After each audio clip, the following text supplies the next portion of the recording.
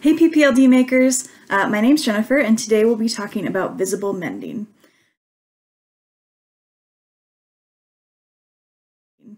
Now visible mending is basically just what it sounds like. We'll be taking garments that have worn out with holes and stains and other damage and fixing them in ways that not only make them wearable again, but also add some flair and color to your wardrobe.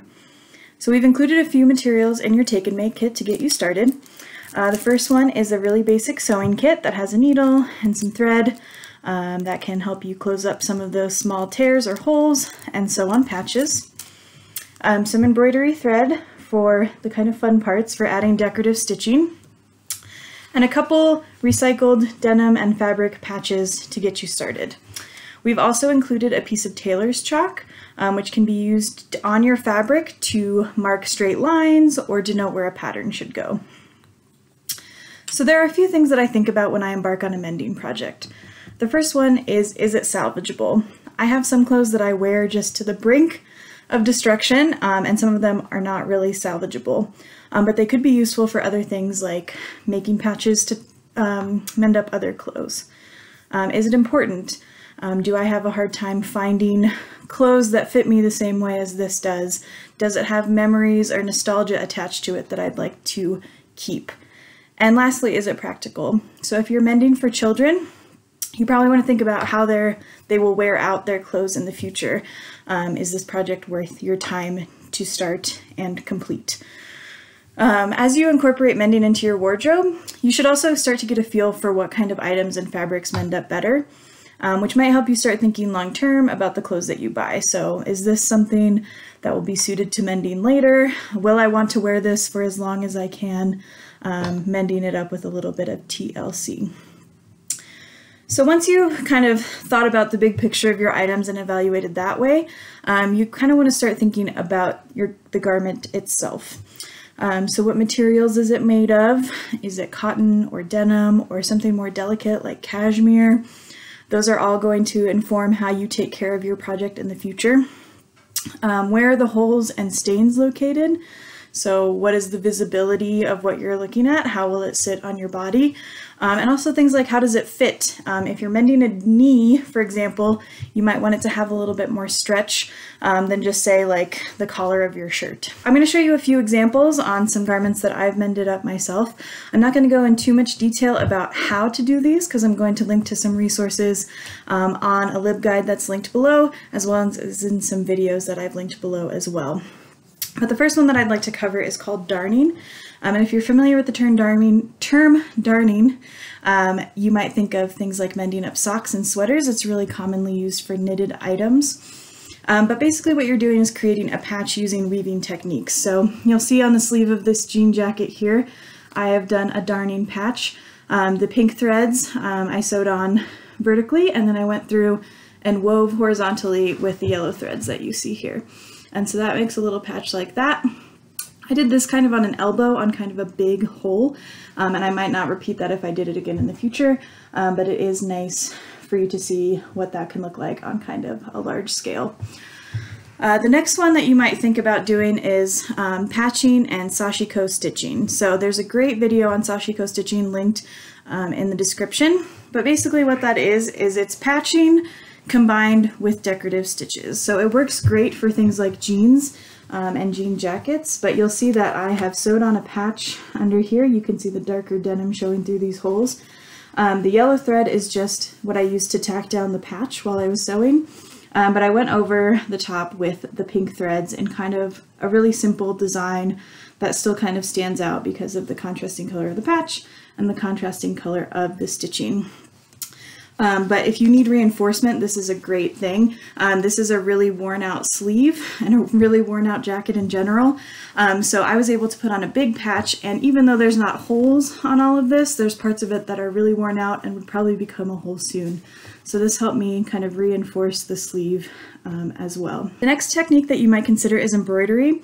Um, embroidery can be great for adding decoration to patches or covering small stains or small holes, um, and it gives you a lot of creative possibilities. Um, I have an example here of a t-shirt, a concert t-shirt that I got, so I really wanted to save it.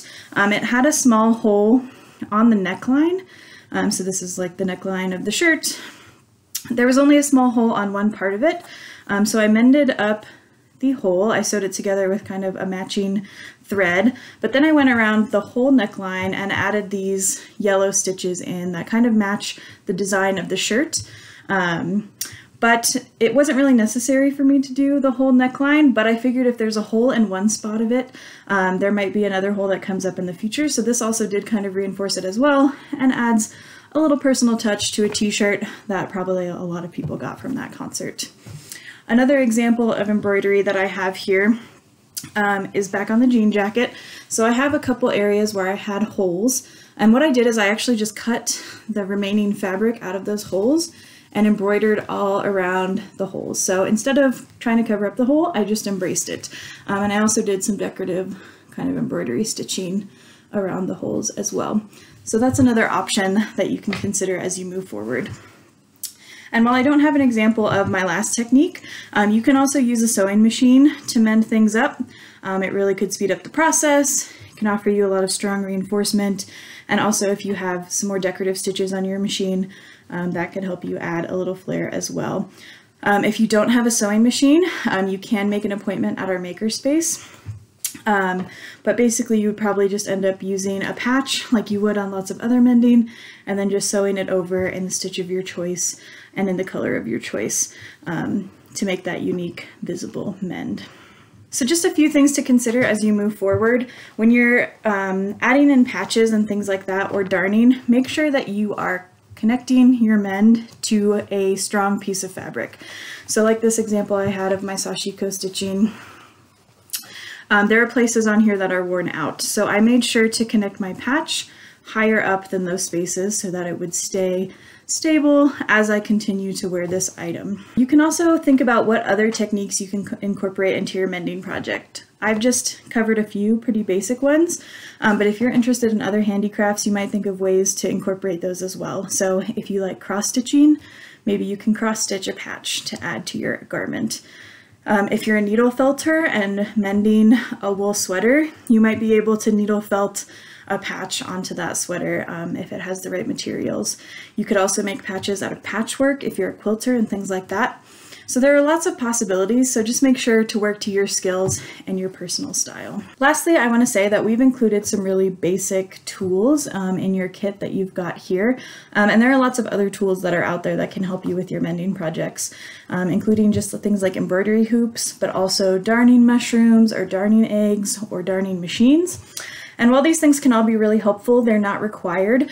Um, I did a darn on this jean jacket and I did not have a darning egg or mushroom. So what I did was just used a bowl to kind of keep my fabric taut and I secured it with a hair tie. So there are lots of workarounds that you can do. You don't have to have all of the supplies that you might see when you're researching this topic online. Um, it's okay to get creative. So I've linked some resources um, in the description of this video, um, including a LibGuide where we have lots of resources on mending in general, as well as some of the visible mending techniques that I've talked about in this video. Um, and there's also a book list linked there um, if you're interested in checking out some books or other materials from the library on this topic, we have lots of good options there as well. Um, moving forward, if you'd like to use a sewing machine um, or other machines to um, support your creative projects. Um, we do have um, sewing machines available in our makerspaces at Library 21C, the East Library, and the Sand Creek Library. Um, they all have sewing machines and embroidery machines, um, as well as sergers. Um, we also have other machines like 3D printers, so if you don't have a darning mushroom, there are patterns out there to help you 3D print a darning mushroom. Um, there's reservations and things like that required right now, um, but there's links in the description to help you uh, learn more about that. So now pick out one of your items of clothing. Um, think about the things that we've talked about so far. Uh, choose the mending style that you think is going to work best and start sewing. Uh, if you share your finished mends on social media, be sure to tag us with hashtag PPLD take and make and we'd love to see your projects. Thanks so much for watching this video and happy mending!